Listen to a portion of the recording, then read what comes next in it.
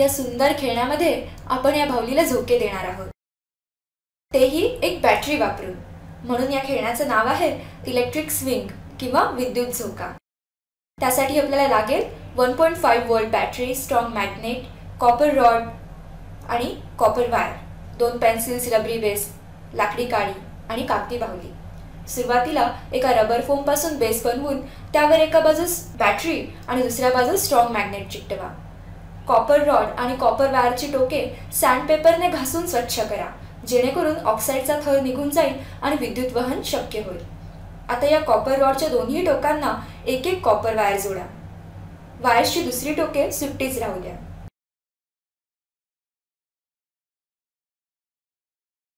म्हणजे ही आपल्या झोक्याची फळी तयार झाली. आता खांब म्हणून पेन्सिलींचा आणि काडीचा वापर करा आणि अशा पद्धतीने झोक्याची पूर्ण रचना उभी करा. पण कॉपर रॉड स्ट्रॉंग मॅग्नेटच्या अगदी जवळ आणि बरोबर वर येईल अशा पद्धतीनेच तो टांगा. एका कॉपर वायरचं सुट्ट टोक बॅटरीला जोडा आणि दुसरी कॉपर वायर तशीच मोकळी राहू द्या. जर हे टोक बॅटरीला जोडलं बाहेर काढलं पुन्हा जोडलं असं करत राहिलात तर झोका हलताना दिसेल. कारण कॉपर रॉडमधून जाणाऱ्या विद्युत प्रवाहामुळे कॉपर रॉड भोवती एक चुंबकीय क्षेत्र तयार होतं. आणि त्यामुळे खाली आलेल्या चुंबकाच्या क्षेत्रासोबत संबंध आल्यामुळे आकर्षण किंवा प्रतिकर्षण होतं आणि झोका पुढे मागे झुलतो. पण वायरचं टोक बॅटरीला खूप वेळासाठी लावून ठेवलं तर एकाच दिशेने बल मिळेल.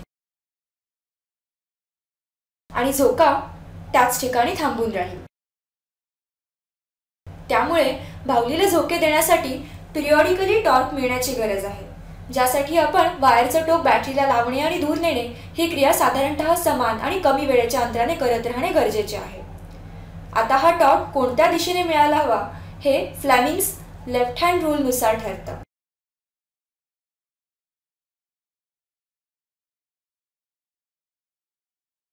बघा हे किती सुंदर खेळणं आहे. या मुलींप्रमाणे हे मजेदार खेळणं स्वतः बनवा आणि अगदी हसत खेळत विज्ञानही जाणून घ्या.